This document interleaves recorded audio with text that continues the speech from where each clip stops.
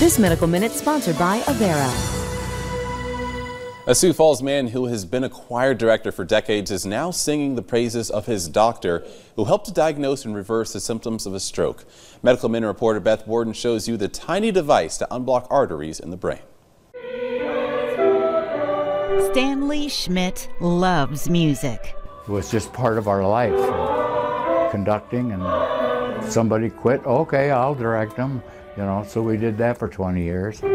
He's looking forward to hearing more music with a new sense of gratitude after a medical emergency almost took his life. I didn't know I was having a stroke. Never thought that. And so eventually, he put me to sleep two hours later, and the next thing I knew, I was waking up and my whole life has changed. Norma noticed something was wrong at first. There were periods of not being himself, incoherent thoughts, and multiple trips to a fridge to find things he couldn't recognize. Then he started talking gibberish, things you couldn't understand. I said, Stan, we're not going to go to church this morning. We're going to go to a different doctor.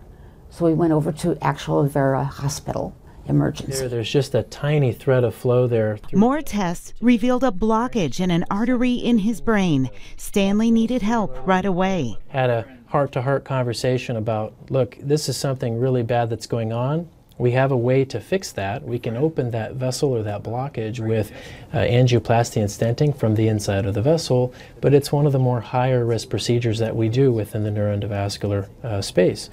This is the same type of wire and catheter that was used in the procedure for Stanley. As soon as the blood flow had returned to that artery, his symptoms started to improve right away. Dr. Linn was new at Avera, part of the neuroendovascular group specializing in the head, neck, and spine. And that's what Dr. Linn performed the miracle. And uh, we, we think it's God sent because of the way that he came onto the staff on Monday and was able to do this with Stan on Friday. To uh, inflate very gently and slowly. It's just what came about and it's what needed to be done. And uh, I'm thankful that everything went well, not only for uh, Stanley's case, but also for the program itself as well.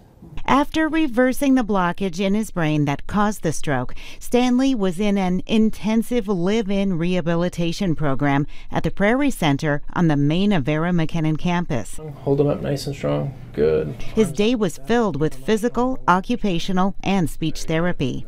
Now that he's back home, he continues therapy twice per week. The family is thankful for each day together. Complete joy because Stan would still be with us. Squeeze hard, hard, hard. Very good. Push me away. With your Avera Medical Minute, Beth Warden, KSFY News.